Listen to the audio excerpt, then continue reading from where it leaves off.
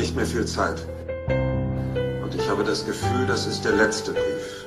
Es gibt auch nur noch eins, was ich dir sagen möchte. Ich will dir sagen, wie sehr du mich bewegt hast und mich verändert hast.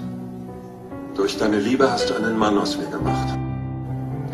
Wenn du mir etwas versprechen willst, versprich mir eins. Wann immer du traurig bist, dich unsicher fühlst oder völlig das Vertrauen verlierst, versuche dich mit meinen Augen zu sehen. Danke für die Ehre, dass ich dein Mann sein durfte. Ich bin jetzt ein Mensch ohne Reue. Ein glücklicher Mensch. Du warst mein Leben, Molly. Aber ich bin in deinem Leben nur ein Kapitel. Es wird noch mehrere geben. Das verspreche ich dir. So, und jetzt kommt es. Das Entscheidende. Hab keine Angst, eine neue Liebe zu finden.